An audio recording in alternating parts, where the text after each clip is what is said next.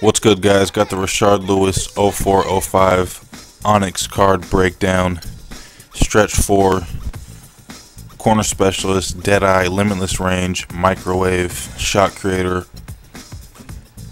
Volume Shooter, 17 years pro, small forward, power forward, 6'10, 235. Kind of Kevin Durant like.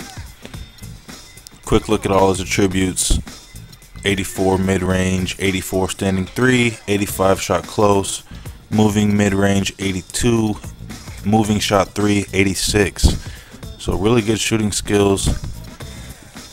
Driving dunk 82, all around good offensive player.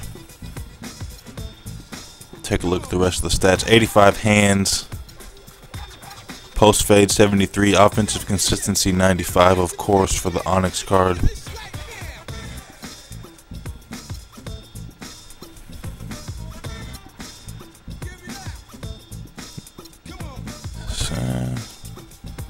Not too many other good shots, stats to uh, point out. Okay, speed 78, 84 vertical, 90 stamina, 84 overall durability. Peace out, guys. At Chillionaire and W.